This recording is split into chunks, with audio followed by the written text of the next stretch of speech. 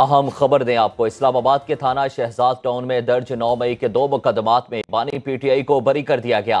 District and session courts Islamabad के judicial magistrate Umar Shabir ने बानी पीटीआई की बरीत की दरखास्तों पर महफूज फैसला सुना दिया।